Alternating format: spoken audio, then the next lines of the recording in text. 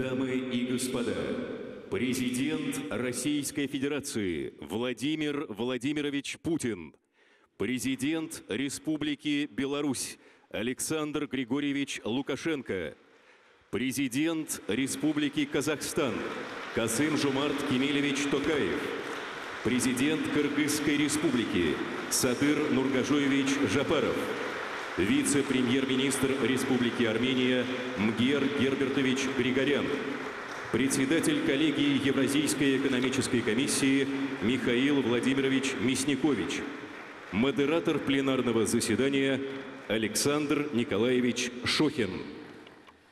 Добрый день, уважаемые дамы и господа. Прежде всего я хотел поприветствовать лидеров э, э, государств, членов Евразийского экономического союза. Хотел бы напомнить, что это у нас уже второй Евразийский экономический форум. Первый ровно год назад состоялся в Бишкеке. И, безусловно, наш форум укрепляет свои позиции во многом благодаря тому, что в пленарной сессии участвуют лидеры государств, членов ЕАЭС. Несмотря на непростые международные условия, ЕАЭС продолжает развиваться, что, безусловно, находит отражение в конкретных показателях. Взаимная торговля растет. Э, в 2022 году она выросла более чем на 10% и превысила 80 миллиардов условных единиц долларов США. Э, при этом по отдельным странам имел даже кратный рост имел место, что привлекло внимание известных органов страны США и Европейской комиссии даже. Э, инвестиции также динамично развивались. Э, по оценкам Евразийского банка развития, взаимные прямые иностранные инвестиции в середине прошлого года превысили 26 миллиардов долларов США. Тем не менее, безусловно, необходимо закреплять положительные тенденции, что, безусловно, требует объединения усилий в силах ключевых участников. Это и государственные органы, и общество, экспертные сообщества, ну и, разумеется, э, бизнес-сообщество. Участники форума много сегодня об этом говорили. Состоялось уже э, большое количество сессий по ключевым проблемам, в том числе и сессия делового совета Евразийского экономического союза – РСПП в этом году председательствует в деловом совете ЕС. И такая сессия, как «Бизнес как драйвер евразийской экономической интеграции», э, дала нам дополнительные примеры того, где мы находимся и что надо делать. При этом, безусловно, важно исходить из принципа полномерности, как базового подхода, который объединяет и полноценность, и планомерность. Владимир Владимирович, вы меня критиковали два месяца назад на съезде РСПП за то, что я там придумываю новые термины, но вот предлагаю этот термин как-то застолбить, полномерность. Э, по мнению бизнеса, сегодня особое значение приобретает реализация задач и планов развития, которые зафиксированы в ключевых документах и прежде всего в стратегических направлениях развития евразийской экономической интеграции до 2025 года – о важности оценки и взвешенного анализа проведенной работы, Владимир Владимирович, вы говорили в своем обращении к лидерам государств ЕС. Это также отмечал и на предыдущем заседании Высшего Евразийского экономического совета Касым Жамарт Кемельевич и другие лидеры. Наш опыт показывает, что успешное завершение данной работы требует не только позиции лидеров и э, государств-членов, но и Э, увеличение э, полномочий Евразийской экономической комиссии в отношении уже согласованных направлений стратегии 2025 от научно-технического сотрудничества, образования, здравоохранения, не говоря уже о техническом регулировании и цифровизации, до спорта и туризма. Не менее важным видится и запуск таких ожидаемых бизнесом институтов и инструментов, как Евразийская перестраховочная компания и финансирование – евразийской, евразийской промышленной кооперации из средств ЕАЭС. Э, бизнес в лице делового совета ЕС и наших организаций, членов, готов нести вклад в донастройку стратегии евразийской экономической интеграции и адаптации этой стратегии э, к меняющимся международным условиям, адаптации текущих планов. Э, но вместе с тем не менее важно понимать, каким будут дальнейшие среднесрочные и долгосрочные направления развития Союза в условиях установления многополярного мира. Я хотел бы э, обратиться к Владимиру Владимировичу Путину как председателю э, Евразийского высшего экономического совета. Владимир Владимирович, в своем обращении к главам государств-членов ЕАЭС в качестве председателя Высшего Евразийского совета вы в том числе предложили разработать новые документы долгосрочного планирования, которые определят основные векторы интеграционного взаимодействия на период до 30 и даже 45 годов. Э, насколько мы понимаем, эти горизонты основаны на понимании э, полномерной реализации стратегии 2025. И еще хотел бы вам задать вопрос, связанный с изменением мировой геоэкономической ситуации. Мировая система сегодня проходит этап серьезной трансформации и перехода к многополярному миру. Это, безусловно, влияет и на экономическую ситуацию, на отношения экономические, не только на геополитику. Э, как вы, уважаемый Владимир Владимирович, оцениваете это, э, эти события, эти исторические тектонические сдвиги применительно к экономическим э, проблемам в контексте роли и места ЕАЭС в этих процессах? Хотел бы пригласить вас, Владимир Владимирович, к трибуне. Давайте поприветствуем Владимира Владимировича.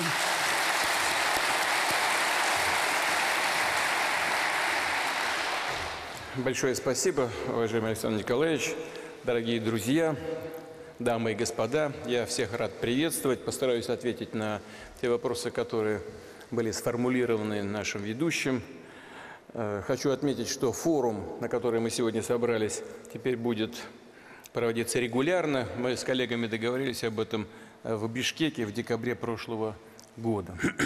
Столь широкий состав присутствующих в этом зале официальных лиц, предпринимателей, экспертов, представителей общественных организаций из стран пятерки, да и из других государств, говорит о том, что э, роль этого объединения нашего повышается, растет, говорит о быстро меняющемся мире, о котором Александр Николаевич упомянул, об успешном развитии евразийской интеграции и о том растущем интересе, который наша организация вызывает за рубежом. Считаю тему форума «Евразийская интеграция в многополярном мире» весьма актуальной. Она охватывает наиболее важные вопросы, стоящие сегодня перед Евразийским Союзом и связанные с созданием благоприятных условий для экономики Евразес и развития сотрудничества на всем пространстве Евразии.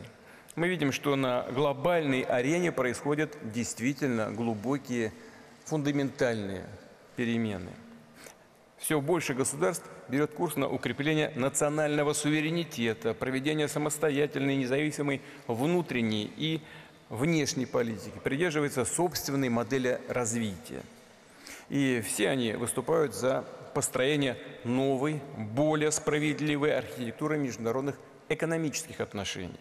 Стремятся конструктивно влиять на мировые процессы расширять сеть партнерских связей, основанных на взаимной выгоде, уважении и учете интересов друг друга. Это звучит несколько банально и, и как штамп. На самом деле это на практике происходит в действительности, в реальной жизни. Важно, что с этими э, подходами солидарны, солидарно большинство участников международного общения. Я хочу это подчеркнуть. Вот с таким подходом солидарно большинство участников международного общения. И это не пустые слова, так и есть на самом деле. Мы активно сотрудничаем с крупными международными объединениями, такими как БРИКС, э, Шанхайская организация сотрудничества, э, Ассоциация государств Юго-Восточной Азии, Советом э, сотрудничества арабских государств Персидского залива, с многосторонними организациями Латинской Америки и Африки. И, конечно же, таким курсом следует наша страна, страна, принимающая сегодня этот форум, Российская Федерация, да, и все наши партнеры по Евразийскому экономическому союзу.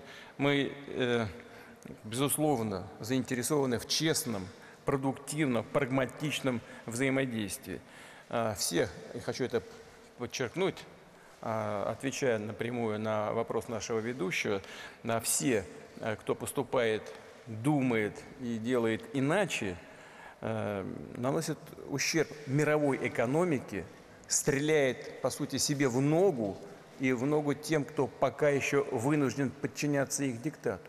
И, кстати говоря, в этом смысле они только усиливают тот нисходящий тренд развития, своего собственного развития.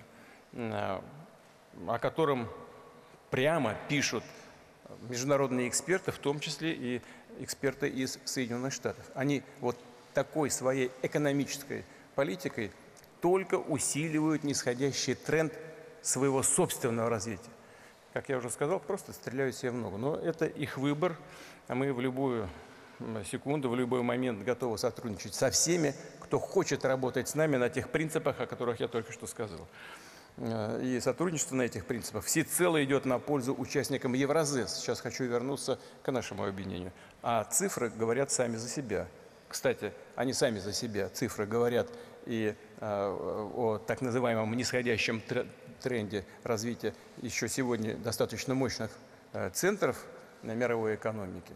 Эти, эти цифры приводятся международными организациями, которые, кстати говоря, находятся под их контролем но просто а, объективно говорят о существующих в мире э, тенденциях. Также цифры говорят о том, как развивается экономика тех стран, которые следуют другим принципам развития взаимоотношений. Так вот, цифры говорят сами за себя. Несмотря на масштабные кризисные явления в мировой экономике и торговле, немалые геополитические риски и факторы неопределенности общий ВВП государств Евразийского союза за 2022 год сократился. Но сократился на 1,6%. А некоторые эксперты там так скажем, как у нас в народе говорят, за бугром, предсказывали совсем другой сценарий, совсем другой, такой обвальный сценарий. Ничего подобного не происходит, не произошло и уже явно не произойдет. Явно не произойдет. Напомню, значит, э, уже и наши эксперты, международные для России показывают рост ВВП. Сначала говорили 0,7%. Напомню, что в ведущих экономиках Евросоюза там минус Минус показывают эксперты на текущий год. У нас сначала говорили плюс 0,7, теперь уже говорят плюс там полтора, а может к двум процентам будет. И это, это очень о многом говорит. Значит, э,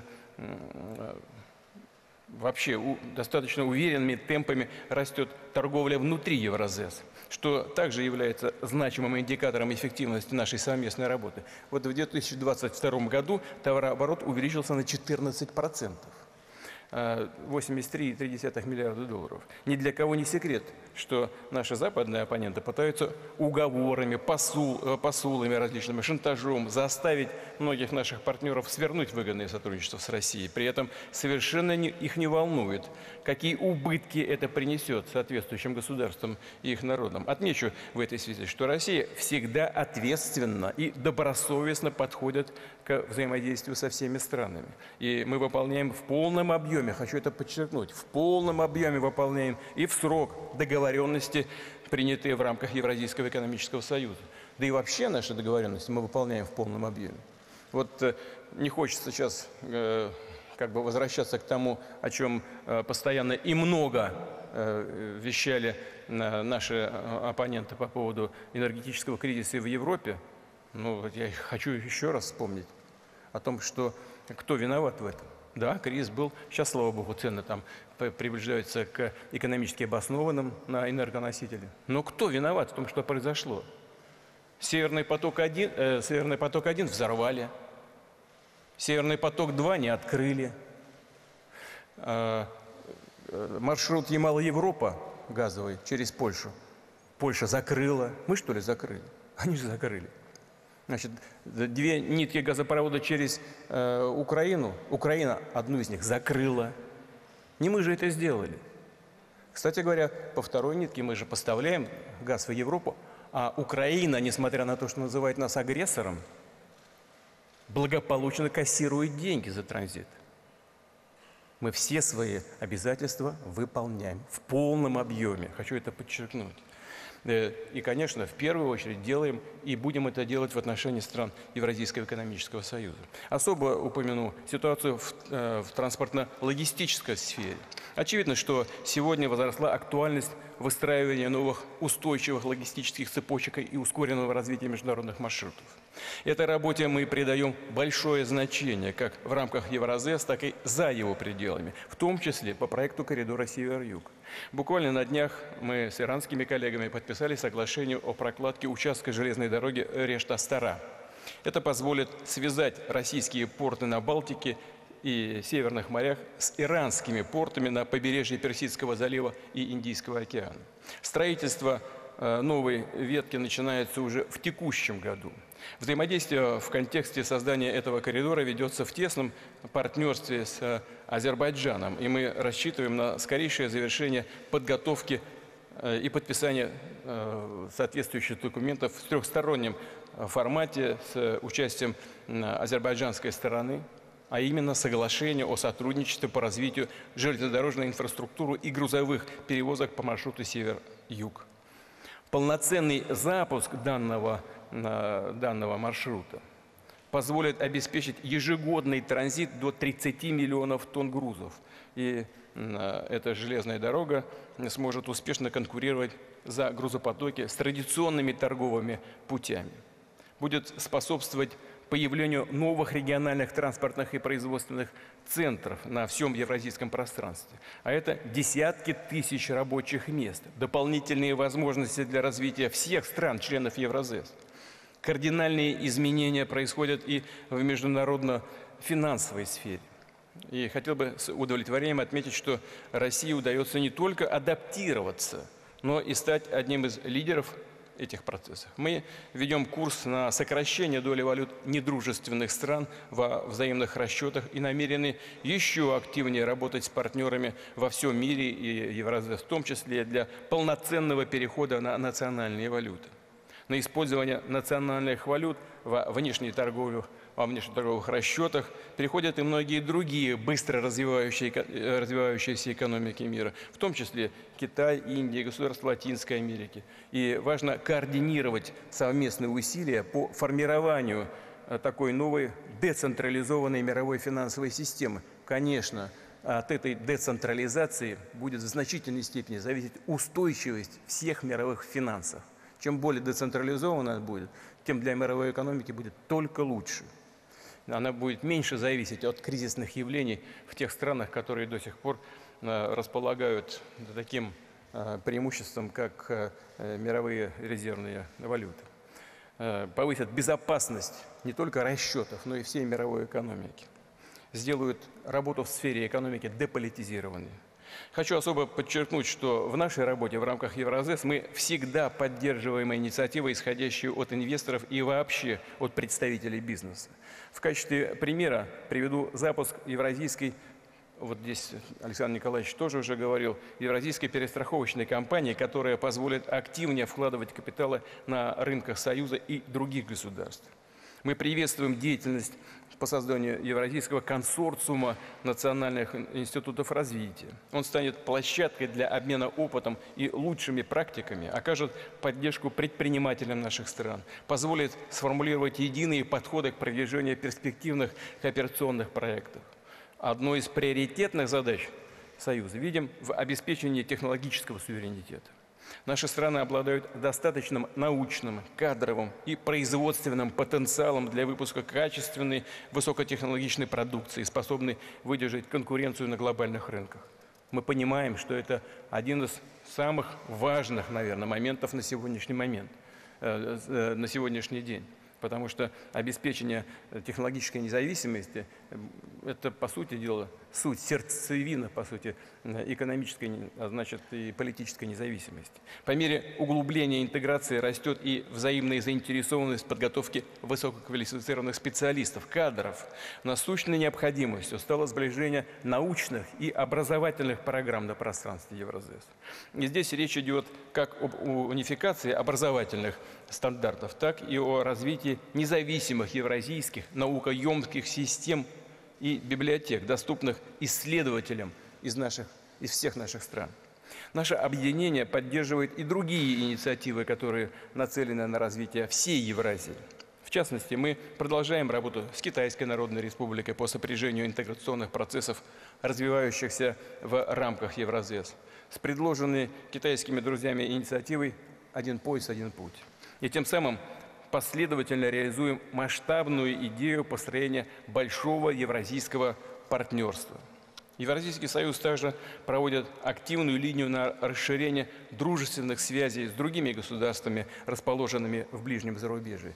В Азии с Индией, на Ближнем Востоке, в Африке, в Латинской Америке, которые, государства, которые представляют абсолютное большинство населения мира, являются драйверами. На сегодняшний день это драйверы роста мировой экономики. Они являются ключевыми точками притяжения инвестиций и узловыми центрами новых транспортных маршрутов. За последний год активизированы переговоры по созданию зон свободной торговли с Ираном и Египтом. Запущены аналогичные консультации с Объединенными Арабскими Эмиратами, с Индонезией. Ведется предметный диалог в рамках реализации международных договоров с Китаем, Вьетнамом, Сербией, другими нашими торговыми партнерами. Дополнительное наполнение получила сеть диалоговых механизмов Евразийской экономической комиссии. Уважаемые коллеги, э, завтра вместе с присутствующими здесь э, лидерами государств пятерки проведем очередное заседание Высшего Евразийского экономического совета. Примем решение по дальнейшему углублению интеграции сосредоточимся на вопросах обеспечения энергетической и продовольственной безопасности, технологической и финансовой независимости, ускорения цифровой трансформации, э, устранения регуляторных и торговых барьеров, развития транспортной инфраструктуры, о которой я уже упоминал.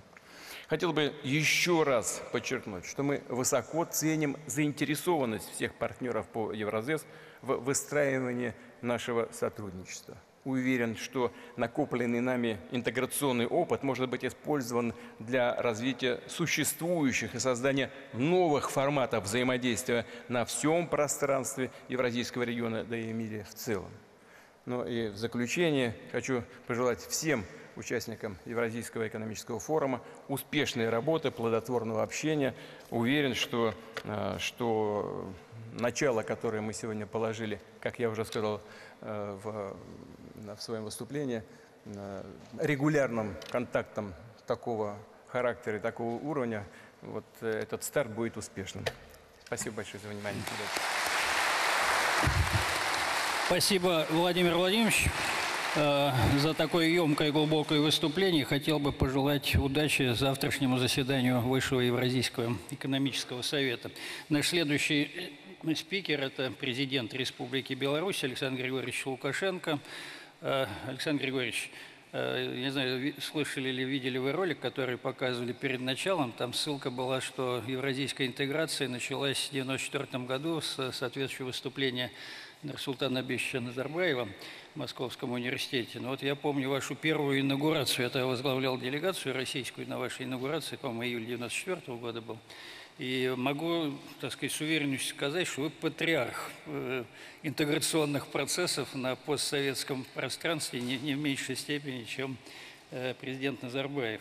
И, безусловно, поскольку вы стояли у стоков э, интеграционных процессов, я помню, как вы хотели сохранить экономические связи на постсоветском пространстве, и вы в этой связи можете оценить, что удалось сделать, что нет – и все-таки как вы оцениваете современный этап развития евразийской интеграции? Ну и в частности, э, учитывая специфику экономики Республики Беларусь, какую роль играет промышленная кооперация э, в обеспечении технологической безопасности и технологического суверенитета в странах ЕАЭС? Ну и какие направления будут э, приоритетными для Беларуси в ближайшее время? Как вам удобно, Александр Григорьевич? Трибуна?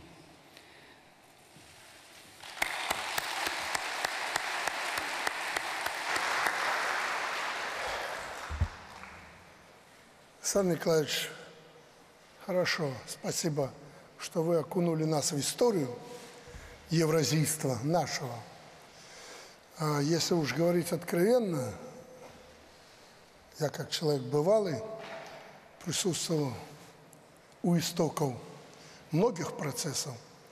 Так вот, должен вам подсказать, что наше евразийство, Евразес нынешний, ЕАЭС – начинался на кухне у президента Путина. И действительно было так. Вот он здесь присутствует, подтвердит. И тогда замысел был хорош. Я помню, когда он пригласил нас домой, особенность этого момента заключалась в том, что с нами тогда была Украина. Леонид Данилович Кучма, хотя я своему коллеге говорил, что из этого вряд ли что-то получится в силу той ситуации, которая уже тогда начала складываться у нас на постсоветском пространстве и здесь, в нашем регионе. Но, тем не менее, аж 28, по-моему, документов, Владимир Владимирович, мы разработали вместе с Украиной. Но потом Украина от этого процесса, как я и полагал, отошла. Заслуга Нурстана Абишевича заключается в том, что как бы мы ни пытались порой, особенно Россия в те времена, придать нашему союзу некий политический характер, может быть, чуть-чуть военно-политический характер, он всегда, Нурстан Абишевич, держал нас в рамках экономического союза. Ни шагу ни влево, ни вправо мы создаем экономический союз, поэтому только экономика – но поскольку решения принимались всегда консенсус, мы пришли к тому, что имеем на сегодняшний день. Ну, Александр Николаевич, так, поскольку вы подняли этот вопрос, я думаю, к месту было бы об этом сказать. Уважаемые друзья, уважаемые участники, полагаю, что здесь присутствуют, искренне говорю, это крупные специалисты, экономисты, э, сторонники нашего евразийства – есть люди, которые думают иначе, замыкаясь в национальных рамках, но тем не менее люди заинтересованные собрались в этом новом зале. Как было сказано предыдущим оратором, президентом России, проведение Евразийского экономического форума, приуроченного к заседанию Высшего Евразийского экономического совета, уже стало новой традицией, становится новой традицией, хорошей традицией. В последнее время мир живет в обстановке постоянной напряженности и неопределенности. Это тоже естественно в переходный период от старой, скажем, эры к новой, к которой мы стремимся, имя которой многополярность. Кризисы финансовый, пандемийный, геополитические сменяют друг друга так быстро, что люди просто не успевают перевести дух и теряют, к сожалению, уверенность в завтрашнем дне. В экстраординарных условиях мощным якором всегда является стабильная экономика. Но экономические границы любого государства сегодня настолько прозрачны, а торговые сети до такой степени переплетены, что добиться экономической устойчивости в одиночку практически невыполнимая задача ни для одного из государств. Поэтому любая страна заинтересована в участии в мощных региональных и международных объединениях. Ну, к примеру, такие как ЕАЭС, ШОС, БРИКС, АСЕАН. Поскольку сегодня мы находимся на площадке Евразийского экономического форума, то и говорить будем про актуальные для нас темы, связанные с интеграционной повесткой. Да и какое-то слово такое матерное. Модератор наш тоже задает тон в этом направлении. Поэтому будем придерживаться этого курса. В связи с этим первое, что я хотел сказать. Международное позиционирование нашего Союза. С момента обретения независимости Беларусь всегда была в авангарде интеграционных процессов. Это Александр Николаевич только что сказал. Один из приоритетов для нашей страны – для всего нашего Евразийского союза укрепление региональных и трансконтинентальных альянсов. Это новые центры силы формирующегося многополярного мира, готовые отстаивать свои интересы и собственные пути развития. Центр мировой экономики необратимо смещается в сторону развивающихся стран. Это естественно – там прежде всего будет развитие. Это страны Азии, Африки, Латинской Америки и Ближнего Востока. Эти государства больше не желают быть сырьевыми придатками, источниками дешевой рабочей силы. Они хотят и вполне заслуженно полноценно участвовать в международном разделении труда и добиваются достойной оплаты за свою работу. Это все понимают. Вот посмотрите, Россия, наверное, раньше всех это поняла, начала активные контакты с африканскими государствами, мы также пытаемся сотрудничать с ними, все рванулись в Африку. И смотрите, как на движение России сегодня отреагировал Запад и Соединенные Штаты Америки. Министерство иностранных дел России, да и другие причастные к политике знают, как американцы пытаются затормозить этот процесс, не пустить Россию в Африке. Ну и вы, наверное, хорошо понимаете, знаете, что Китай уже там. Вот идет борьба за эти страны, поэтому оттуда, там будет э, будущий полюс нашего развития, очень активный. Но это не значит, что мы развиваться не будем. На наш взгляд, совмещение интеграционных усилий в формате Евразийского нашего союза, ШОС и БРИКС будет способствовать созданию крупнейшей коалиции государств. Если мы, как в народе говорят, не прошлепаем, если мы не проспим. К чему это? Пример.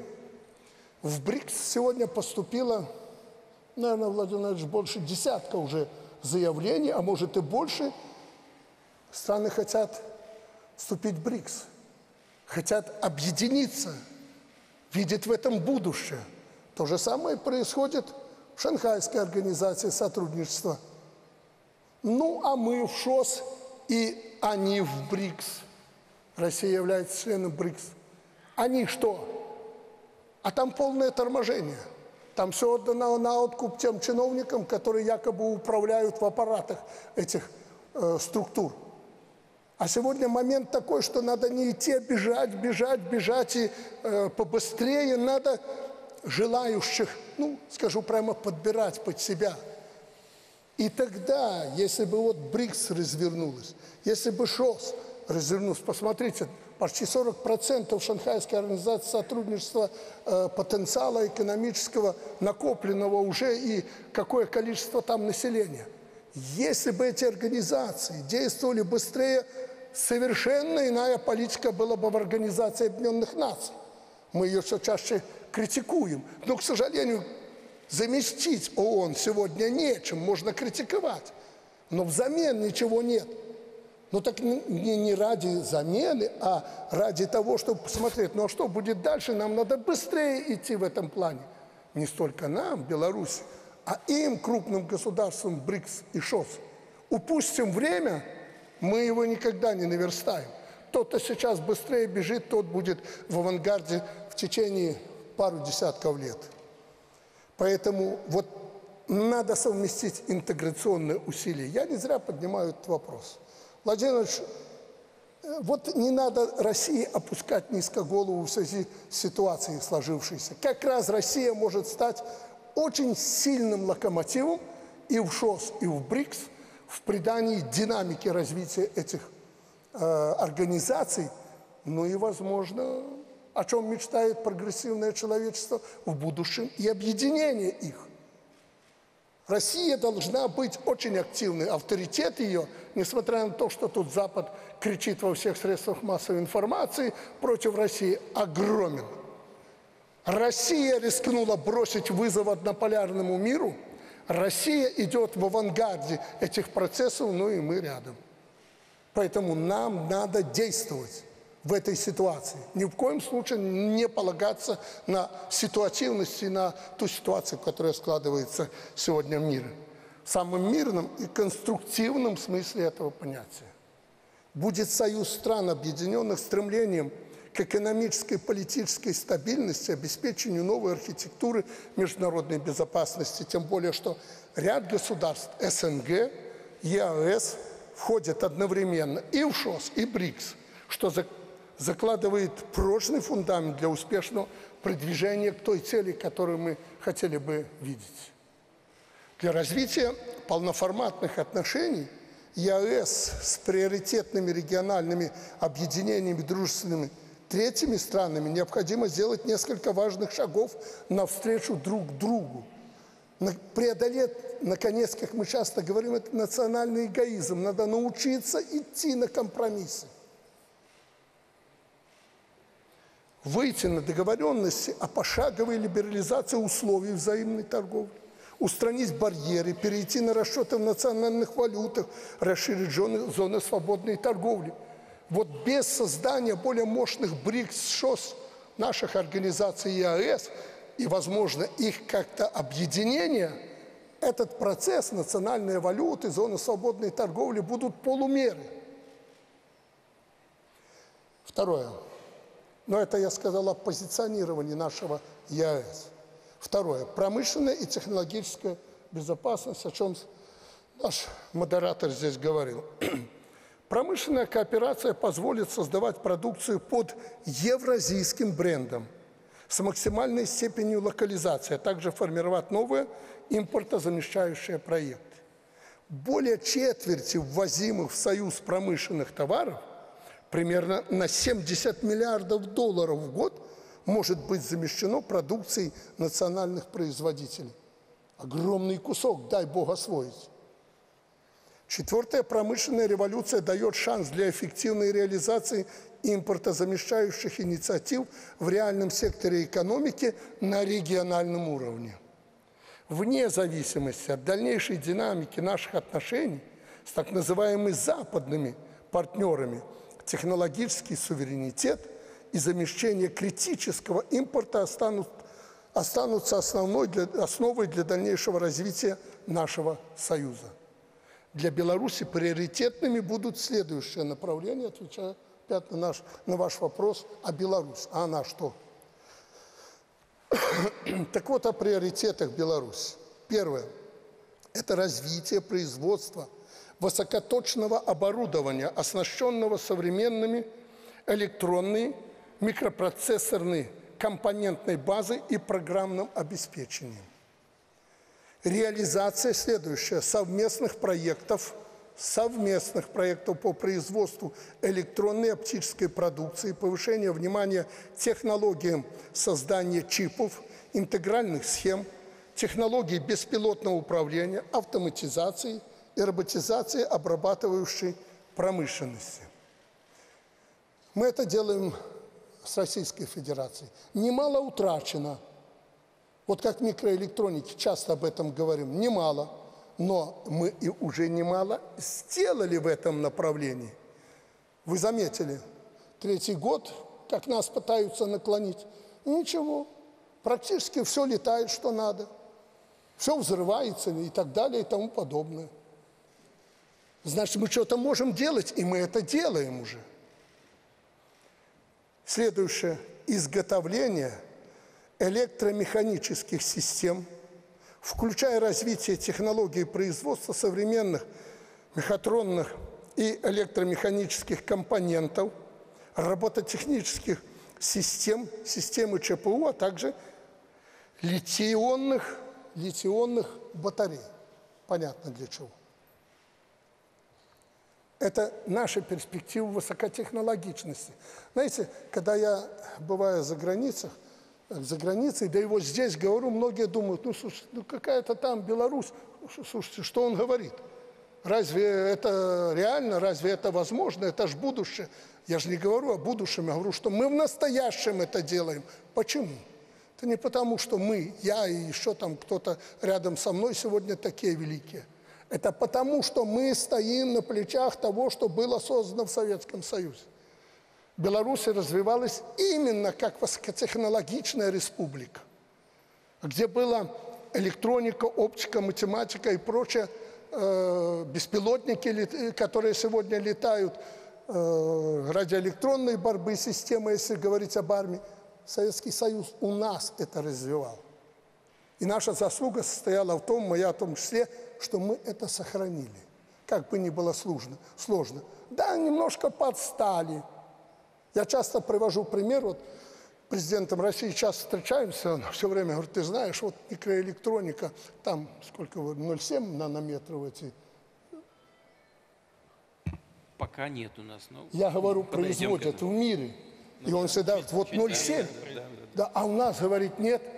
Ну, я так, э, я говорю, хорошо, мы будем объединять, сейчас сделаем это микроэлектронику, это объединяем с Россией, много делаем э, вместе. И я поехал к конструктору. И тот, что так начал говорить, вот, президент России нас упрекает, что мы же должны это делать, а мы это не делаем. И один конструктор, я, я вот за что купил, за то продаю. Он мне говорит, Александр, вы передайте Владимиру, что вы расстраиваетесь? Вы хотите, чтобы на наших чипах летал самолет и ракеты? Я говорю, ну да, конечно, надо, э, американцы же нам не будут поставлять. Он говорит, ну хорошо, у нас, говорит, чипа чуть-чуть побольше. Ну, впихнем мы, э, дословно, впихнем мы этот прибор в крыло самолета. Летают же, говорит, до сих пор и будут летать. Это человек, который создает это все. Знает, как это делать. И вот он мне ответил на этот вопрос. Я углубился в эту проблему. Действительно так. Поэтому не надо умирать, что мы где-то подстали. Надо бежать. Надо догонять и надо создавать. Вот мы с президентом России и наметили такой курс, в частности, на примере микроэлектроники и того, что я перечислил в нашей промышленности. Но для этого надо доверять друг другу, надо быть вместе, надо быть ближе. Для этого и создан Евразийский экономический союз. Третье. Энергетическая безопасность. Развитие, углубление интеграционно взаимодействия в энергетике, укрепление позиции ЕАЭС в контексте глобальной энергетической безопасности остается для нас важнейшим приоритетом.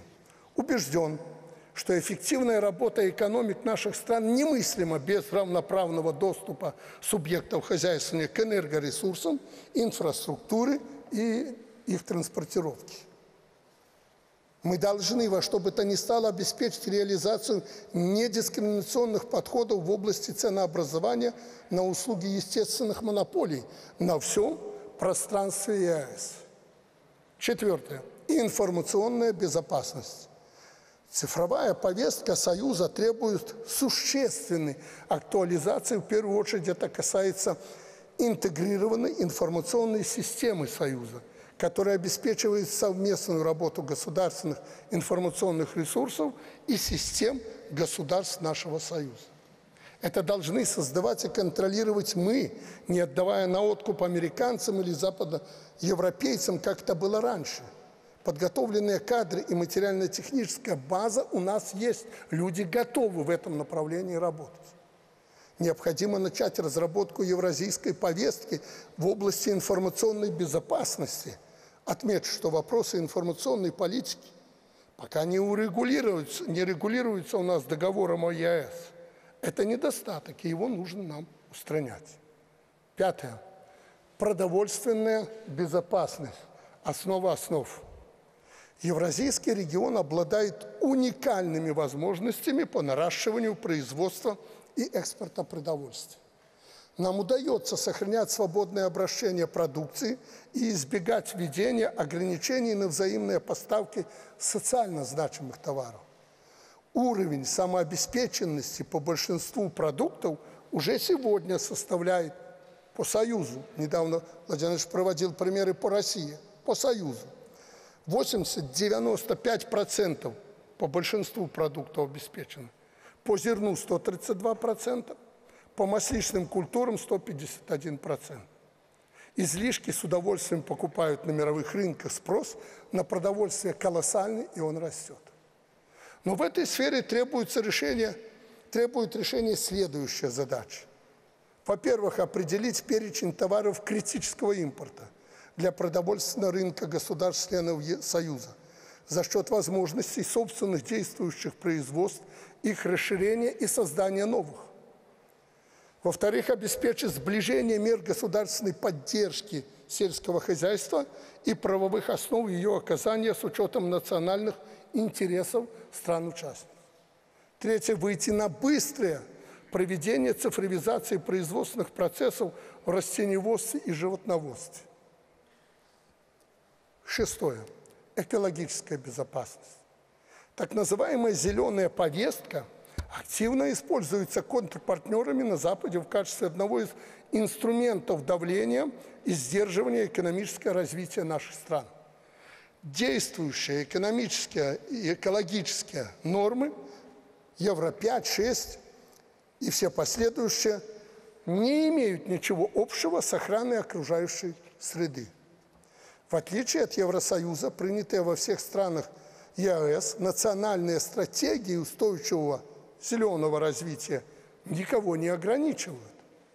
Они подразумевают прежде всего модернизацию экономик, создание высокотехнологичных совместных производств, бережливое отношение к ресурсам, правильное обращение с отходами, повышение экологической культуры, население ответственности бизнеса. Вот именно в таком ключе мы полагаем, надо двигаться. Уважаемые участники форума, в заключение хочу еще раз подчеркнуть. Мы развиваем интеграцию не в целях какой-то конфронтации. Президент Путин часто об этом говорит. Мы хотим создать многополярное, равноправное, безопасное пространство для жизнедеятельности. Если мы это не сделаем, будем плестись в хвосте. И нас будут постоянно вытирать ноги. Это наша общая цель. И мы готовы много работать на ее, для ее скорейшего воплощения в жизнь. Но еще раз подчеркну, сегодня самое главное – это время. Время это уходит, жестоко уходит. Мы не можем отстать, и мы не должны отстать.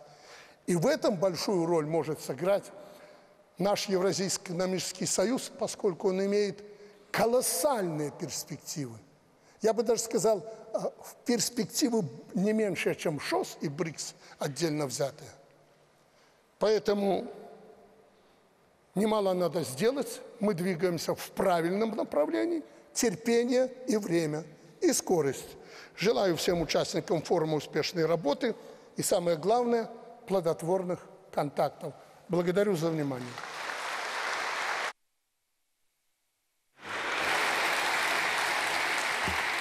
Я хотел бы обратить внимание э, на одну мысль, которую высказал Александр Григорьевич. У него много мыслей было в выступлении по поводу состыковки наших позиций в ЕАЭС, в ШОС, в БРИКС. Э, вот мы, как деловое сообщество, сейчас пытаемся тоже выработать предложение, чтобы у нас э, э ну, как бы консолидированные позиции были на всех площадках. У нас есть и деловой совет ЕАЭС, и деловой совет БРИКС, и деловой совет ШОС – и в двадцатке мы активно работаем в различных э, целевых группах и так далее. Владимир Владимирович, э, будете смеяться, но у меня бумага лежит, так сказать, в портфеле как раз на эту тему. Хотел бы вам ее предложить, как лучше консолидировать э, эту деятельность со стороны бизнеса, как минимум. Э, я хотел перейти к следующей теме, связанной с уникальным географическим положением и уровнем развития, благодаря чему ЕАЭС обладает э, существенным потенциалом опережающего развития по целому, по целому ряду перспективных направлений. И прежде всего речь идет об инфраструктурной связанности, о таких коридорах, как север-юг и запад-восток. Неплохо бы эти коридоры связать между собой. Речь идет и о взаимодействии с третьими странами. Мы в деловом совете завтра, в числе прочего, планируем обсудить вопрос создания профильных рабочих органов по транспорту, логистике, инфраструктуре, э, техническому регулированию. Были бы признательны, уважаемые лидеры, если бы эти предложения вы поддержали. А вопрос мой к президенту э, Республики Казахстан Касыму Жамарту Кемелевичу Такаеву. Э, уважаемый Касым Жамарт Кемелевич, э, как вот в вашем понимании принятая стратегия ЕС до 2025 года, насколько она отражает основные перспективные направления развития нашего Союза с точки зрения Республики Казахстан? И нужно ли уже сейчас задавать новые приоритеты развития, либо дождаться, когда будут реализованы э, все намерения э, стратегии до 2025 года. Пожалуйста, э, Жамарт.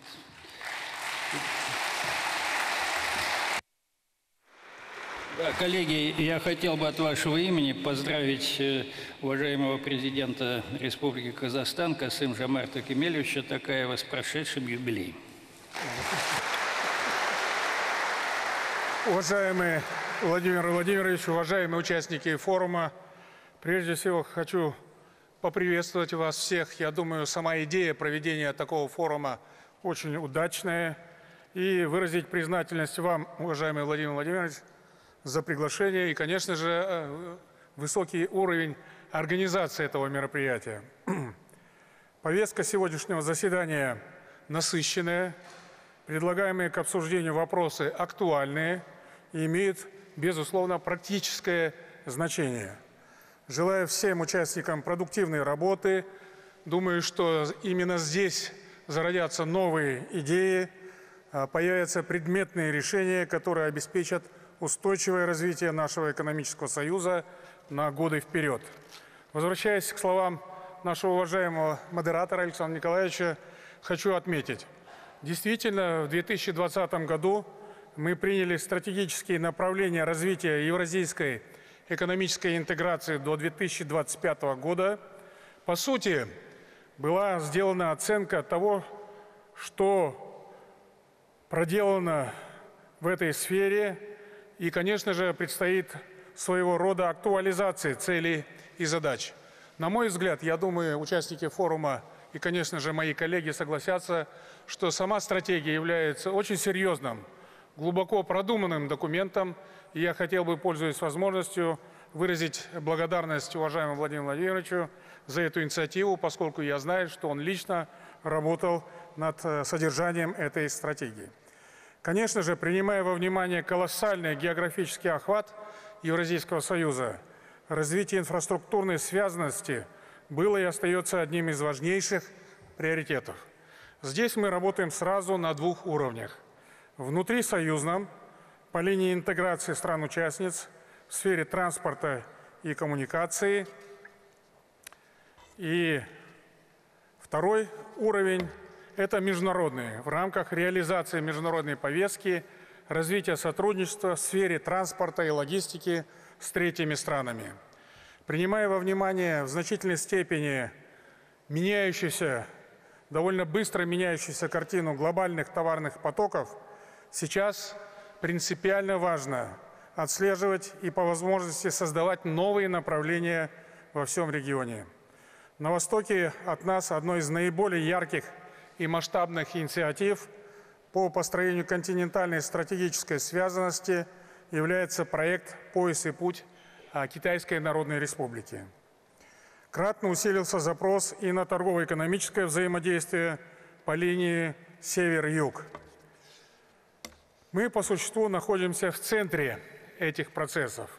И от нас зависит, какую роль мы будем играть в этой новой глобальной экономической реальности.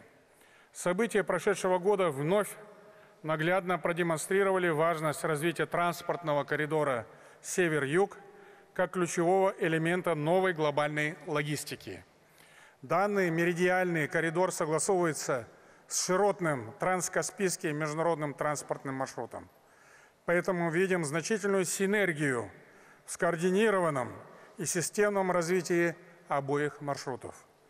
Это не только точка роста для промышленности, транспорта и экономики. Данные маршруты способны в корне поменять уровень взаимодействия и кооперации внутри огромной Евразии. Я об этом говорю не случайно, поскольку именно транспорт и логистика сейчас выдвигаются на первый план международного сотрудничества. По сути дела, на международном рынке идет борьба за обладание транспортами, э, маршрутами, логистикой и так далее. Это, кстати говоря, прибыльный бизнес для всех государств. Я думаю, что Евразийский экономический союз должен сыграть э, важную положительную роль в этом направлении. Крайне важным видится выстраивание эффективного взаимодействия с ключевым политическим партнером Союза – Китайской Народной Республикой. Китай, надо отметить, одновременно является и крупнейшим грузоотправителем, и крупнейшим клиентом. На прошлой неделе у меня состоялся государственный визит в эту страну, в рамках которого мы запустили строительство логистического центра Казахстана в Сухом порту Сианя. Мы ожидаем, что данный порт станет основным хабом для отправки прямых контейнерных поездов в Центральную Азию, Европу, Турцию и Иран. Также запланирован запуск железнодорожного сообщения на участке Бахты-Аягоз со строительством отдельного погранперехода в Китай.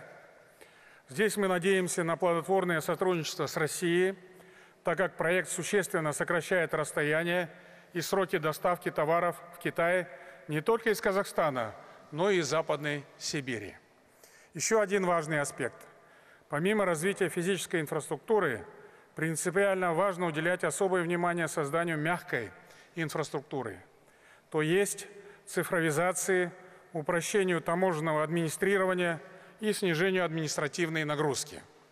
В целом же можно без преувеличения сказать, что сейчас мы по сути формируем новый транспортный каркас Евразии. до этого никогда не существовавшие. Если подойдем к данному вопросу основательно и сообща, сможем получить значительные экономические и даже политические дивиденды. В данном ключе я думаю, что у нас есть общее понимание, насколько важно полноценное и конструктивное международное сотрудничество. Я здесь согласен и с Владимиром Владимировичем, и с Александром Григорьевичем в отношении актуальности международного сотрудничества. Я с удовольствием вижу здесь руководителей целого ряда а, международных организаций. Вообще, в целом, Евразес должен уделять приоритетное внимание развитию международного сотрудничества, повышать свою узнаваемость, ну и, конечно же, авторитет в международном экономическом сообществе. Естественно, сам авторитет э, Евразийского союза должен базироваться на конкретных результатах э, нашей совместной работы э, в этой организации. Поэтому активное взаимодействие с Китаем, Индией, Вьетнамом, Ираном, Египтом, Израилем, Сербией и другими партнерами является важным индикатором зрелости Союза и его торгово-экономической привлекательности. С прошлого года мы начали переговоры по заключению соглашения о свободной торговле с Индонезией и Объединенными Арабскими Эмиратами. Я рассматриваю данные направления как принципиально важные, поэтому ожидаю от Евразийской комиссии э, продолжения оперативной работы э, на этом направлении. Теперь хотел бы остановиться на второй половине вашего вопроса, уважаемый модератор, о необходимости и целесообразности определения новых приоритетов развития Союза. Безусловно, в любом деле всегда нужно не только разбираться с текущими проблемами, но и планировать работу на перспективу. Также нужно адекватно реагировать на изменения обстановки вокруг. И все это должно базироваться на крепкой основе. Чем основательнее фундамент, тем более прочное и долговечное здание можно построить. Что же является фундаментом нашего Союза – Ключевым элементом была и остается полномасштабная реализация договора о Союзе. Еще раз хочу подчеркнуть, что Казахстан абсолютно привержен интеграции именно на основе договора от 2015 года. То есть реализация четырех свобод и базовых принципов, таких как недискриминационный доступ к инфраструктуре, справедливая конкуренция, равноправие – и учет национальных интересов. Это базовые принципы нашей совместной работы, и Казахстан будет продвигать именно эти принципы нашей совместной работы. Я думаю, что перспективы хорошие. И все эти вопросы, безусловно, требуют к себе самого пристального внимания. Думаю, что сейчас не время и не место перечислять многочисленные факты регулярно возникающих, по-прежнему регулярно возникающих взаимных барьеров и ограничений. Я не сторонник того, чтобы драматизировать эту ситуацию, но в принципе возникающие проблемы надо решать. А, здесь ставки очень велики. Это, как я уже сказал, авторитет самой организации, нашего союза. И мы должны прежде всего показать нашим народам актуальность Союза, его эффективность. А для этого нужны выверенные, правильные решения. Я понимаю, что интеграция – это очень сложный процесс, это очень тонкая работа по приведению всех национальных интересов к единому знаменателю, но эту работу нам нужно согласованно вести. Иначе, как вот убедительно говорил Александр Григорьевич, время – бесповоротно уходит вперед, время остается очень мало, нам нужны конкретные результаты. Предстоит создать полноценную, бесшовную среду взаимодействия на рынке Союза. Значительное количество поставленных и задекларированных целей еще ждут своего достижения со стороны государств-участников Союза. На мой взгляд, Прежде всего, нам нужно сконцентрироваться на доведении до конца решения базовых задач сотрудничества в рамках Союза. Не сделав этого, трудно оставить перед собой еще более амбициозные цели. То есть нам не нужно забегать вперед, нужно работать абсолютно прагматично. Прежде чем внедрять что-то новое, стоит приложить максимум усилий, чтобы заработало то, что запланировано нами. Важно понимать, что экономическая интеграция – это не самоцель. Это одно из средств развития экономик и благосостояния народов государств-участников. Поэтому главное мерило успеха экономической интеграции не количество стратегий, договоров и решений – а новые производства, технологии и рабочие места, о чем убедительно говорили мои предшественники на этой трибуне. Для нас интеграция в рамках Евразийского экономического союза прежде всего носит экономический характер, как это зафиксировано в договоре 2015 года. Любые другие сферы, которые упоминаются в стратегии, безусловно, имеют право на существование, но их нужно рассматривать через призму экономики прежде всего – это абсолютно не значит, что мы не хотим развивать социальное, культурное, гуманитарное сотрудничество со своими ближайшими партнерами. Мы хотим это делать и делаем, в том числе и на двусторонней основе.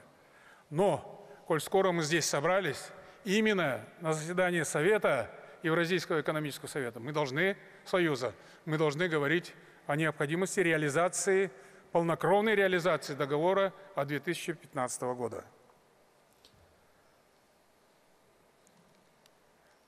Есть другие организации, довольно успешные в постсоветском пространстве. Это Содружество независимых государств, Организация договора о коллективной безопасности. В конце концов, есть и формат двустороннего сотрудничества. Поэтому мы должны четко определиться с форматами, где, в какой организации мы должны предпринять какие-то действия с целью принятия соответствующих решений.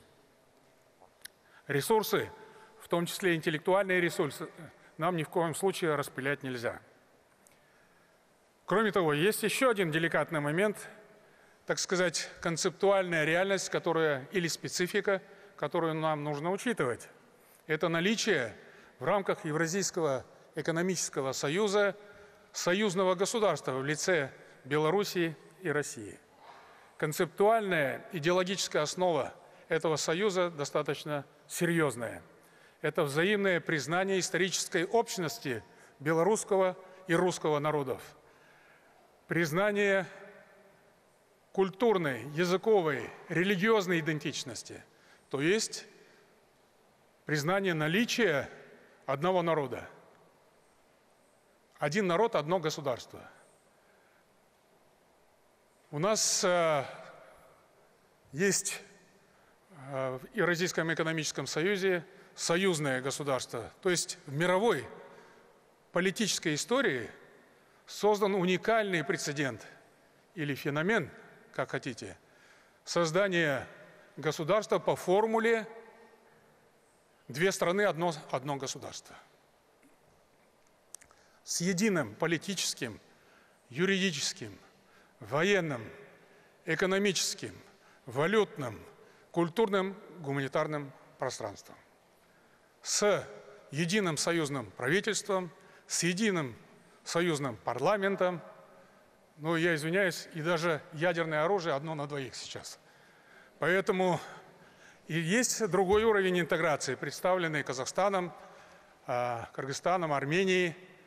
А, и с этой реальностью нам нужно считаться. Как мы будем работать в этих условиях? Это вопрос концептуальный, нам нужно, я думаю, в том числе и на этом экономическом форуме, обсудить данную проблему.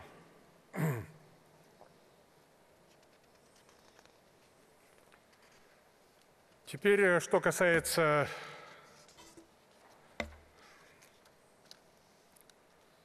что касается экономического союза, то наиболее важным является для нас вычленить основные интересы и устремления в экономической, индустриальной, торговой повестке и привести их к единому знаменателю. И это без привлечения колоссально сложная амбициозная задача. Требуются высочайшие знания, дипломатические навыки, но самое главное – конструктивный настрой и учет интересов партнеров. Поэтому мы с большим вниманием относимся к деятельности Евразийской экономической комиссии. Я считаю, что в Евразийской экономической комиссии должны работать самые подготовленные чиновники, представляющие правительства наших стран. наиболее квалифицированные эксперты в тех или иных областях. И мы, конечно же, должны подумать о том, как улучшить их социальный пакет, как стимулировать э, их работу. Я полагаю, что главы государств, если такой вопрос будет поставлен, согласятся с таким э, предложением. Нам нужно подумать, как работу в Евразийской экономической э, комиссии, в аппарате Евразийского экономического союза делать, сделать более привлекательной, чтобы именно лучшие кадры стремились туда попасть и показать свою квалификацию. И в завершение хочу еще раз поблагодарить Российскую Федерацию, лично Владимира Владимировича Путина, а также комиссию за организацию и содержательное наполнение мероприятия. Впереди у нас очень много работы, завтра предстоит насыщенный день. И повторяю, что данный форум очень полезный. Благодарю вас за внимание.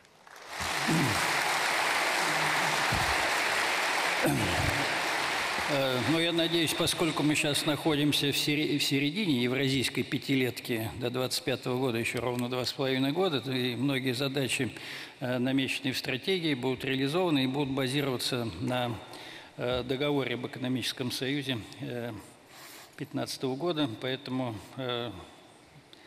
Будем надеяться, что будет сочетаться и адаптация, и корректировка, постановка новых задач и исполнение всего задуманного при создании в ЕАЭС. И если говорить о новых инструментах и институтах, то неизбежно время идет, почти 10 лет прошло, и э, мы говорим сейчас действительно о новых таких инструментах, как, например, Евразийская перестраховочная компания – в прошлом году было принято решение о ее создании. Есть потребности в других новых институтах, таких как, например, Евразийское рейтинговое агентство. Э, в прошлом году в ходе пленарной сессии э, первого Евразийского экономического форума мы говорили о таком инструменте, как и Евразийские торговые дома. Э, идет продвижение по всем этим вопросам, бизнес подключился активно. Будем надеяться, что эти инициативы будут реализованы. Мой следующий вопрос э, президенту Киргизской республики Садыру Нургажовичу Жапарову. Э, Садыр Нургажович, какие шаги в области развития евразийских институтов необходимо предпринять? Э, что из того, что уже создано, требуется поддержать? И какие, может быть, новые направления вы видите с точки зрения соответствия интересам и бизнеса, и общества наших стран? Пожалуйста, так сказать, к трибуне прошу вас. Садыр Нургажович.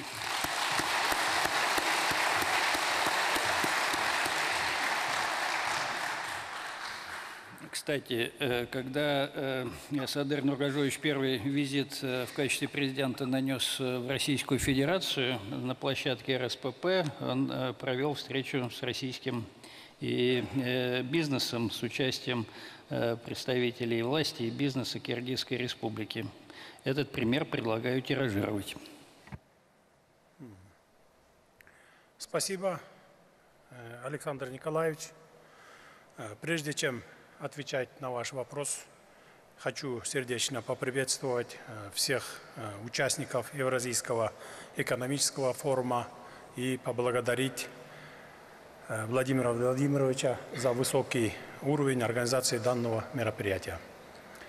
Несмотря на то, что данный форум проходит только во второй раз. Э, форум доказал свою востребованность и значимость э, для обсуждения важных и актуальных вопросов евразийской э, экономической интеграции. Переходя к первой части вашего вопроса относительно шагов в области развития евразийских институтов, хочу отметить Э, что неизменным приоритетом Кыргызстана в Союзе является э, усиление роли Евразийской экономической комиссии и суда ЕАЭС э, в части устранения барьеров на внутреннем рынке нашего объединения. Эти институты должны стать действенными наднациональными органами, способными оперативно решать спорные ситуации в передвижении товаров. Для этого они должны иметь э, полномочия э, по проведению расследований о нарушении государствами членами права ИАЭС э, с установлением четких сроков для устранения таких нарушений, а также возможностью подачи исков суд ИАЭС о неисполнении государствами-членами решений в рамках Союза.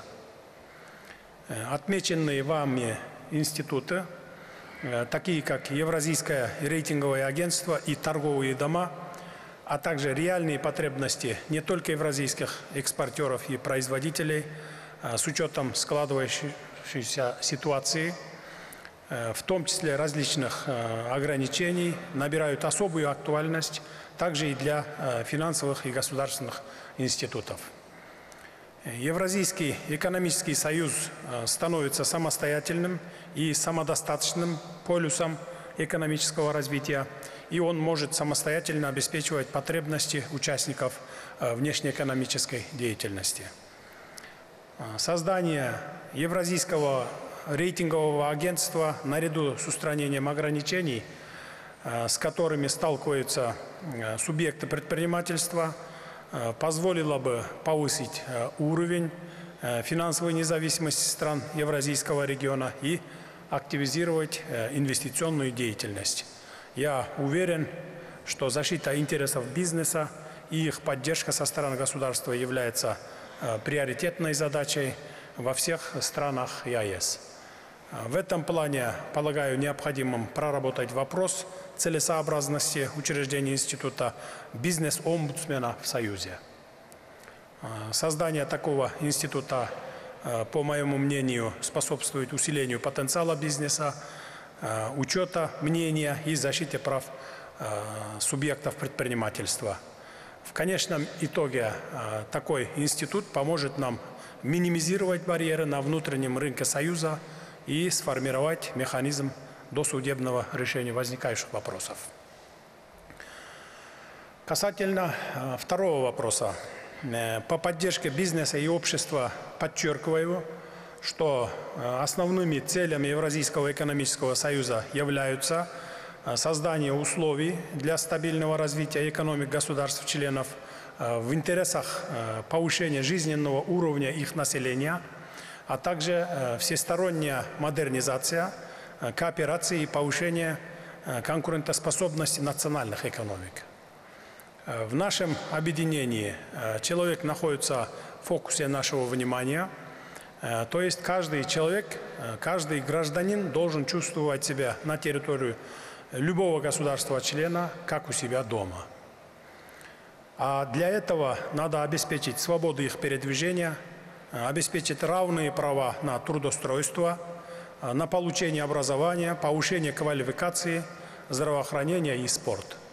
В этой связи мы видим э, важной задачей реализацию общесоюзных проектов и программ в этих и других различных областях.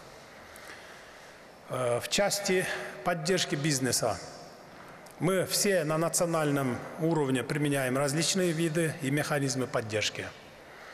Э, при этом в силу своих институциональных и финансовых возможностей э, развитие подобного рода институтов в каждой стране находится на разной стадии формирования и развития, а также сильно различается по объемам и уровню представляемой поддержки. Э, поэтому в Союзе разрабатываются различные механизмы финансовой и нефинансовой поддержки бизнеса, а, в том числе производителей и экспортеров. Завтра на заседании Высшего Евразийского экономического совета мы рассмотрим вопрос оказания финансового содействия совместным кооперационным проектам а, в отраслях промышленности с конкретным источником финансирования. Это позволит э, увеличить объем совместного производства, стимулировать э, рост инвестиций и создать дополнительные рабочие места. Уверен, что мы должны и далее расширять создаваемый механизм за счет стабильных источников финансирования, включая поступление ввозных таможенных пошлин. Данный инструмент может быть использован для поддержки в реализации проектов и в других сферах экономики. К примеру, в развитии транспортной и логистической инфраструктуры, внедрении новых технологий и инноваций, а также в сфере энергетики. Еще один важный аспект – это объединение систем стратегического планирования государств-членов с тем, чтобы разрабатывались нужные и необходимые программы и проекты. В связи с чем, по моему мнению, нам необходимо создать наднациональный институт развития ЯЭС, выполняющий функции по подготовке, аналитическому сопровождению и финансированию интеграционных проектов на примере Агентства стратегических инициатив Российской Федерации. В свою очередь, деловой совет ЯЭС в лице консолидирующей структуры всего евразийского бизнеса должен не только активно участвовать во всех интеграционных процессах, но и активно выдвигать инициативы, которые необходимы для наращивания потенциала наших деловых кругов. Спасибо.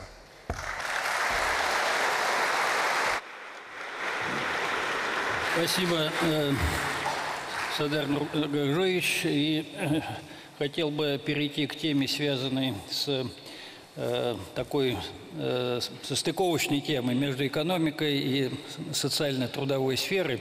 Хотя э, Касым Жамарт Кемелевич сказал о том, что ну, чисто экономические проблемы должны решать в соответствии с базовым договором, но есть тема, которая относится и к экономике, это кадры, рынок труда, занятость, профессиональные компетенции, и одновременно это существенная часть э, социальной проблематики. И э, я хотел бы обратиться Э, к Геру Гербертовичу Григоряну, который представляет Республику Армения на нашей сессии, вице-премьеру правительства Армении. Насколько я понимаю, Никола Баваевич завтра присоединится к заседанию Высшего Евразийского экономического совета. А сегодня, Гер Гербович, вам, как говорится, отвечать на этот вопрос. И прежде всего, э, что Э, видится вам с точки зрения развития человеческого капитала Евразийского союза, ну, с учетом позиции Армении, конечно. Пожалуйста.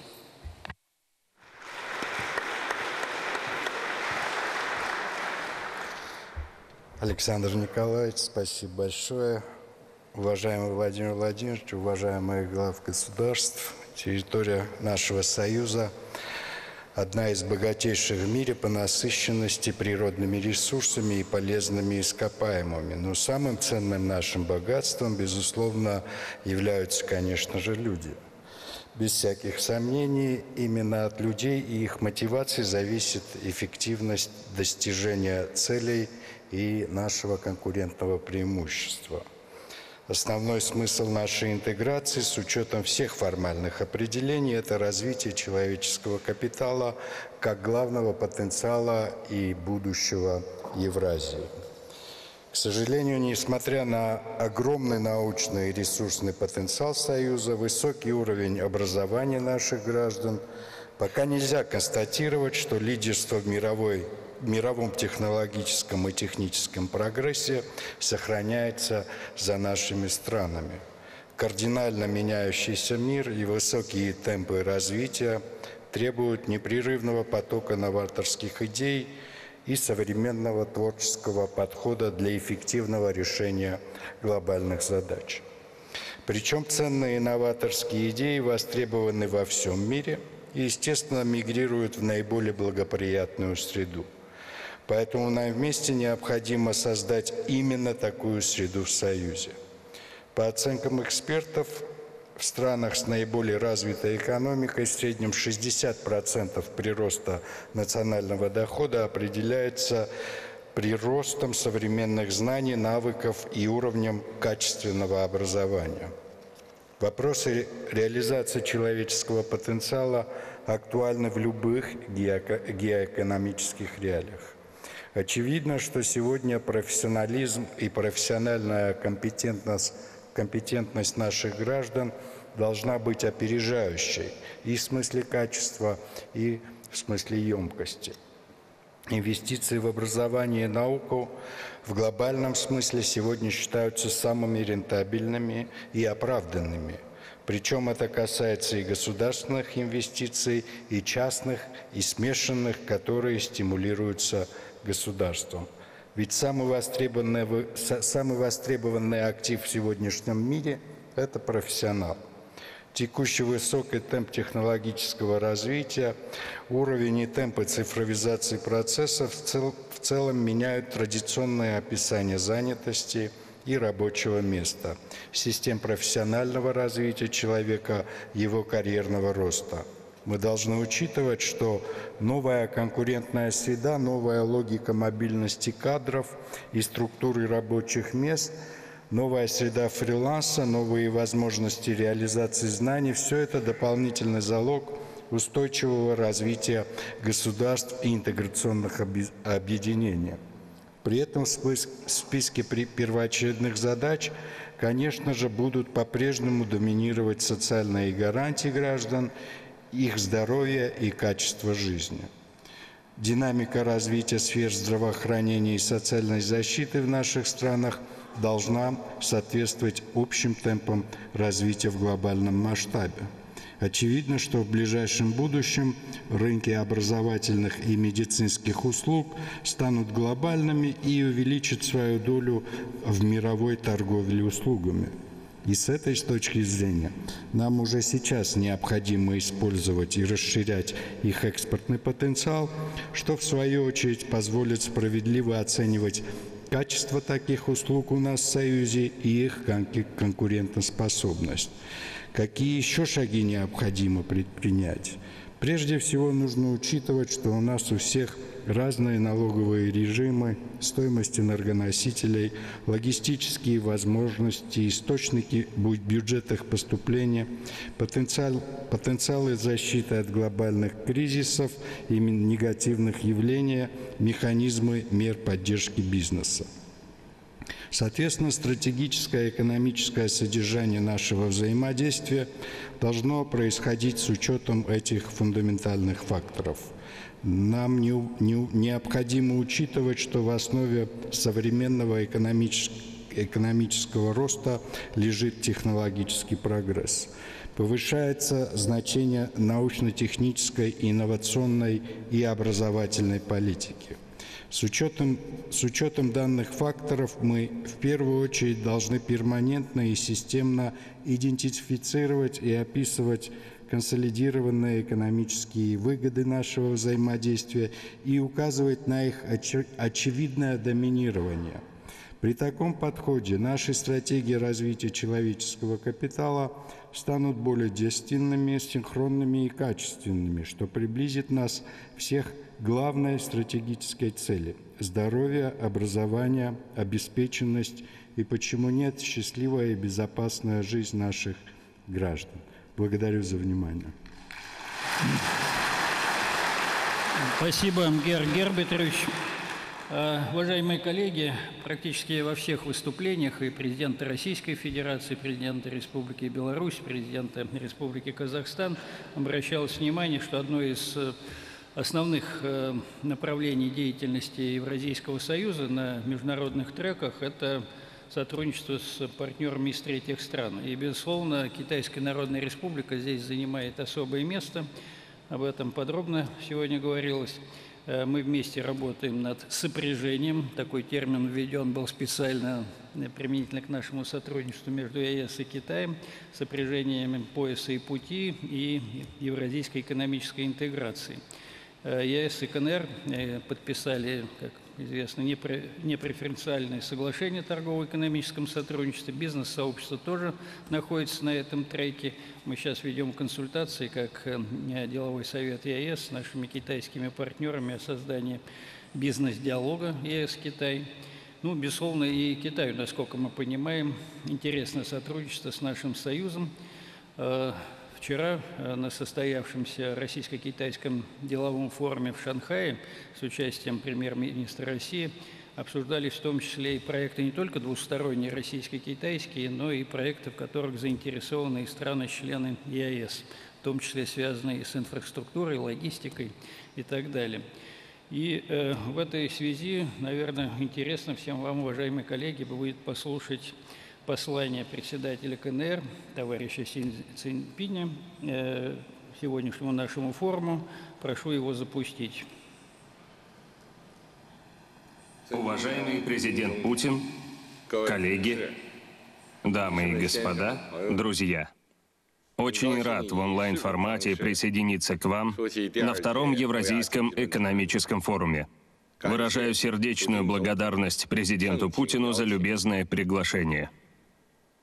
В современном мире происходят беспрецедентно глубокие перемены, характеризующиеся формированием многополярного мироустройства и необратимой тенденцией экономической глобализации. Отстаивание истинного мультилатерализма и содействие скоординированному развитию регионов – широкий мировой консенсус. Евразия – самый населенный континент с наибольшим количеством стран и самыми разнообразными цивилизациями. Перед лицом турбулентного и быстро меняющегося мира, какой путь нам выбирать для сотрудничества на этом континенте? От этого зависит не только благосостояние населения в регионе, но и судьба всего мира. Ответ Китая на такой эпохальный и исторический вопрос недвусмысленен и весьма ясен.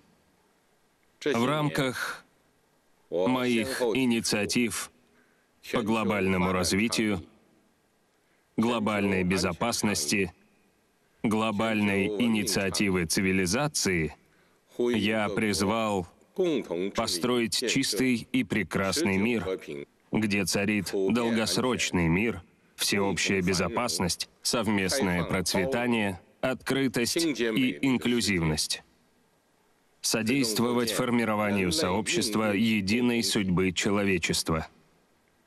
Текущий год ознаменован десятилетием выдвинутой мною инициативы «Один пояс и один путь». Ее отправная точка и конечная цель в том, чтобы открыть новые возможности для совместного развития и проложить путь к благополучию стран мира. С удовольствием отмечу, что Евразийский экономический союз в духе открытости, взаимной выгоды и общего выигрыша поддерживает тесные контакты с государствами региона, с ШОС и другими многосторонними механизмами. Работает над построением пространства совместного развития и добивается ощутимых успехов. Развитие Китая как члена большой евразийской семьи неотделимо от Евразии и приносит выгоду евразийскому региону. Китай – самый крупный торговый партнер Евразийского экономического союза. В прошлом году двухсторонний товарооборот составил 243,6 миллиардов долларов США, увеличившись на 31%. Наблюдается хорошая динамика роста и огромный потенциал сотрудничества. В рамках государственного визита в Россию в марте мы с президентом Путиным вышли на новые договоренности о сотрудничестве по сопряжению «Один пояс и один путь» с Евразийским экономическим союзом.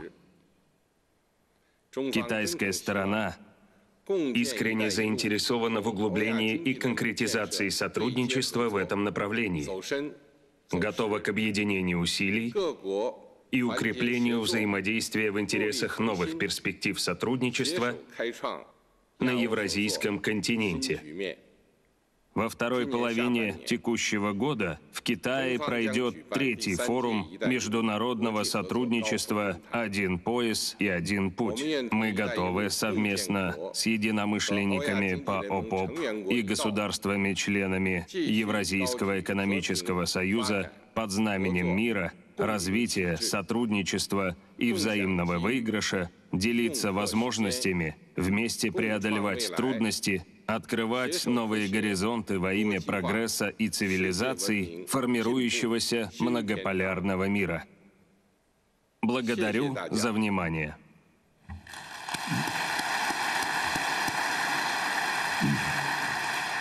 Уважаемые коллеги, мы видим из выступления председателя Си Цзиньпиня о том, что несмотря на давление со стороны целого ряда иностранных государств, партнерские отношения с ЕАЭС э, привлекательны для большинства стран и международных институтов.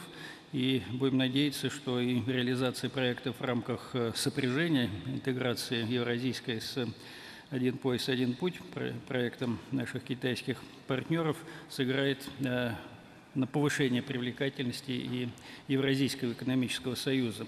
Но на наших глазах формируется довольно много э, таких э, сетевых, я бы сказал, макро- и межрегиональных интеграционных платформ.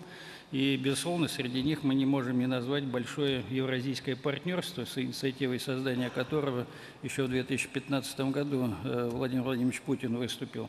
И в этой связи я хотел бы спросить э, Михаила э, Владимировича Мясниковича, председателя коллегии Евразийской экономической комиссии, э, поделиться соображениями о том, что нужно сделать, чтобы ЕАЭС стал точкой сборки и драйвером формирования большой Евразии. Как укрепить международные позиции Союза, как сделать евразийскую интеграцию более полезной для наших стран и бизнеса, э, для граждан и более привлекательной для внешних партнеров. Пожалуйста, Михаил Владимирович.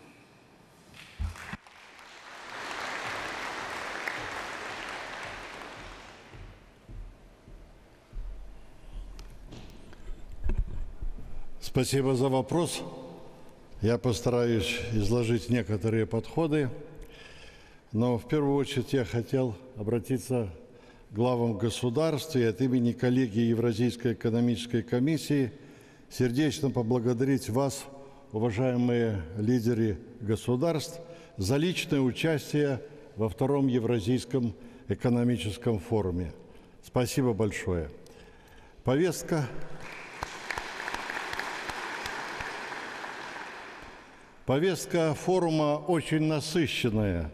35 панельных сессий, 7 тематических направлений, прибыло около трех тысяч участников из всех стран Союзов и 50 иностранных государств. В чем новизна форума 2023 года? Участники обсуждают множество вопросов, но главное, что превалирует – это взгляд на перспективу Союза. Переход Евразийского экономического союза к полноформатному экономическому развитию. Значит, есть доверие, есть уверенность в состоятельности союзных отношений. Впервые в работе форума принимают участие регионы наших стран. Интересные предложения выработали представители Союзов промышленников и предпринимателей – торгово-промышленных палат, молодежь. Уважаемые главы государств, вы создаете постоянно высокие темпы функционирования Евразийского экономического союза, принимаете важные стратегические решения. Проводимую работу высоко оценивают государственные органы, бизнес, граждане наших государств. Например, ведем во исполнение ваших поручений работу по климатической повестке. Сегодня на форуме мы подвели итоги конкурса «Зеленая Евразия». 293 заявки от крупных и маленьких и средних компаний из всех стран нашего Союза. Есть много проектов из регионов. Участники форума предлагают конкретные проекты – в развитии инициатив и предложений глав государств и правительств стран Союза. Ваши идеи и поручения настоящего пленарного заседания принимаются к безусловному исполнению. Уважаемые участники форума, ключевым фактором развития на перспективу является инвестиционная деятельность. Необходима общесоюзная программа импортозамещения – Технологический суверенитет предполагает решение масштабных задач по развитию электроники, станкостроения, производства лекарств, созданию химических и биологических предприятий высоких технологий. Необходимо определяться с источниками финансирования и мотивационных механизмов в этих целях. Наши страны обладают соответствующими компетенциями – Просим поручений глав государств по решению этих задач объединенными усилиями. Комиссия может организовать эту работу, примет в ней самое активное участие. Совместная инвестиционная деятельность и создание на рыночных взаимовыгодных принципах мощных трансевразийских компаний повысит конкурентоспособность экономик стран ЕАЭС и укрепит сопряжение государств-членов Союза за счет коммерческой выгоды участников. Важнейшим направлением устойчивого экономического развития является формирование глобальной транспортно-логистической системы. Полагаю, что необходимо нам в Союзе иметь объединенную транспортную систему под единым управлением, сформированным с учетом суверенного участия государств-членов. Такой подход позволит не только устранить препятствия на внутреннем рынке ЕС, но и совместно со странами ШОС сформировать трансконтинентальный логистический мегапроект, что станет практическим наполнением инициатив «Один пояс, один путь» и транспортных коридоров Восток-Запад и Север-Юг. Уважаемые участники форума, высокий уровень взаимных торговых и производственных отношений в Евразийском экономическом союзе создает предпосылки для очередного шага интеграционного сотрудничества – системной практической реализации идеи формирования большого евразийского партнерства. Данное предложение основано на следующем. Во-первых, формирование каркаса большого евразийского партнерства предполагает уже принятые Советом глав государств-членов ШОС документы. Евразийская экономическая комиссия и секретариат ШОС в пределах своих компетенций разработали план действий на 2023-2025 годы. Во-вторых, определенное окно возможностей открывается в сфере таможенного регулирования и контроля. Евразийская экономическая комиссия делает ставку на формирование единой системы таможенного транзита в Евразийском экономическом союзе, что позволит начать работу с третьими странами по интеграции их национальных и нашей союзной транзитных систем. Третье. Важнейший вопрос – нормы технического регулирования, санитарного, ветеринарного и фитосанитарного контроля. Они у нас в Евразийском экономическом союзе унифицированы на современной основе и могут быть предложены для гармонизации всем государствам Евразии, а значит эффективному взаимному доступу на рынке сторон. Полагаю, что выход на реализацию крупных инфраструктурных проектов Евразийского экономического союза и изложенные мною направления могут рассматриваться как часть будущей концепции большого евразийского партнерства и формирования центров сборки международных партнеров. Конечно, потребуется детальная проработка вопросов и безусловное уважение национального суверенитета, участвующих в интеграции государств. Спасибо большое за внимание. Спасибо, Михаил Владимирович. Будем надеяться, что ЕЭК, Евразийская экономическая комиссия, сделает все для того, чтобы Евразийский экономический союз был центром сборки наших партнеров и взаимодействия с другими интеграционными группировками. Уважаемые коллеги, мы завершаем нашу пленарную сессию. Я также хотел бы присоединиться к словам благодарности в адрес лидеров, участников э, э, сегодняшней дискуссии. Э, мне кажется, что у нас конструктивная дискуссия, она носила комплексный характер, мы обсудили большой круг тем и глубоко погрузились в каждую из этих тем. И это дает основание полагать, что перспективы развития евразийской экономической интеграции вполне благоприятные – Надеемся, что результаты нашего форума и пленарной сессии, и многочисленных э, панельных дискуссий будут э, полезны и главам государств, и национальным правительствам, и Евразийской экономической комиссии.